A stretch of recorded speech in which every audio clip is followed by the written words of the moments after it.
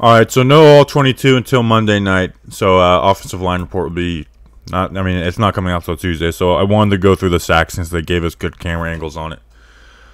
On Thomas, on Thomas, man, this was probably his worst game. He struggled, and let's go through it. Um, we'll talk about Peart a little bit too.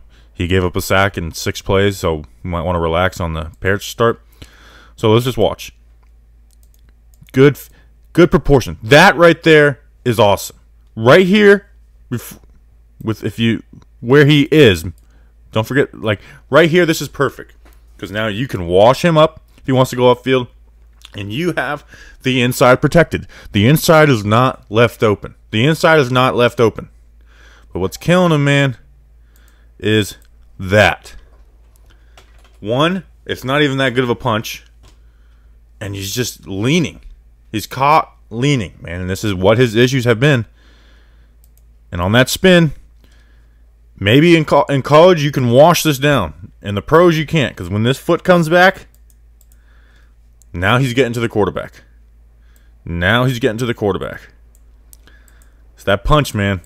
They've got to figure out a way to get that out of him. And then with Matt Peart on the other side, like I said before, he protects the inside really well, but he opens up his his hips way too early. That's way too early to be sideways.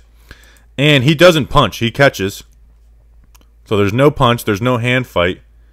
And so that's just easy for a defensive end. It's like, okay, I'm, I don't need to worry about his hands. I just do whatever I want. So that was his sack on six snaps. This one, man, powers down, I mean, you got to see that coming. Hernandez has that block, and they've actually done a pretty good job so far in the year of picking up stunts.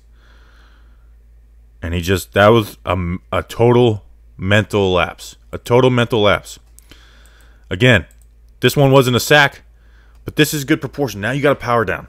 Now you got to power down and mirror this dude. You got to mirror this dude. And he doesn't. Force him to go outside at this point. Power that right foot down and and like, hey, if you're gonna go down this way, I'm gonna be there. If you're gonna go out, I'm gonna wash you out. And Jones makes a crazy play, but man, this is this is brutal for the rook.